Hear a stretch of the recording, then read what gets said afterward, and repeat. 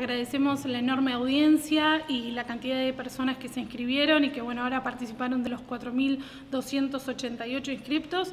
Y también eh, agradecemos la participación de la Dirección de Discapacidad eh, con el cupo especial que hubo con 15 sorteados y 5 suplentes. Y bueno, se, se llevó a cabo eh, de una forma súper transparente con la presencia del escribano que también agradecemos porque ha trabajado arduamente en mirar cada una de las bolillas.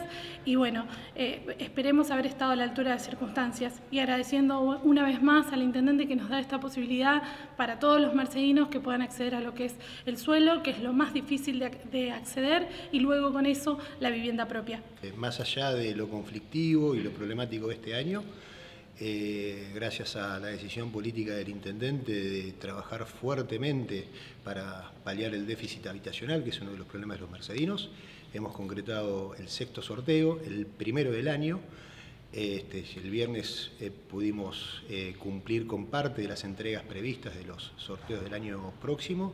Y bueno, tenemos por delante para el 2021 un, amplio y ambicioso programa, este, siempre buscando consolidar esta política pública de este, garantizarle el acceso al suelo a los mercedinos que tengan más de cinco años de residencia en la ciudad. Bueno, muy buenos días, la verdad que estamos muy contentos. En un año muy difícil eh, no se bajaron los brazos, se siguió trabajando intensamente en uno de los ejes que para nosotros es fundamental, que tiene que ver con el acceso a la tierra y el desarrollo de vivienda. En ese sentido, hoy se hizo un sorteo, como decía la doctora Ilarraz, de manera totalmente transparente, ante escribano público, hubo por momentos seguimiento vía streaming de más de 1.200 personas, y, y bueno, esto es una gran posibilidad, una gran oportunidad para la gente. ¿Por qué?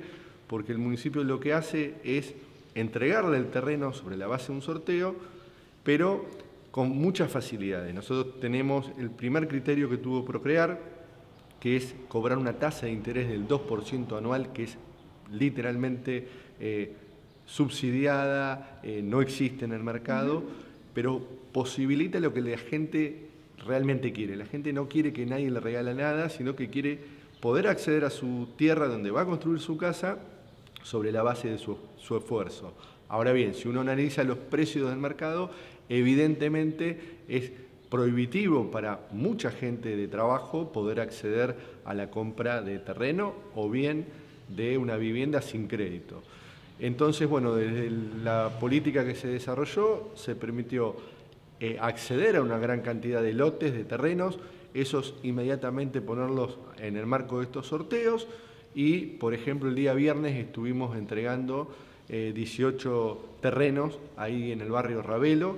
Eh, había 18 familias muy felices, muy contentas. Hoy sorteamos, eh, el año próximo estaremos entregando más terrenos, haciendo más sorteos, que esto también es muy importante.